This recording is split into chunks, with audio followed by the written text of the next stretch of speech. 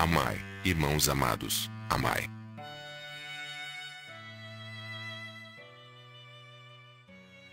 Filhos amados do meu Pai. A escuridão que emana dos vossos corações encobrirá a terra qual manto negro, impedindo vossa visão, vossa ação e o vosso caminhar. Vivereis intensamente a vida mental e descobrireis quão escuro se encontra o vosso eu. Esquecestes do amor ao próximo, vibrando apenas no egoísmo e no orgulho. Acicatastes o sofrimento alheio, esquecidos das leis da vida. Praticastes a destruição da casa planetária, imprudentes, negligentes, ignorantes. Tudo à vossa volta vibra o amor de Deus por suas criaturas. Vinde, irmãos amados, ao encontro da luz.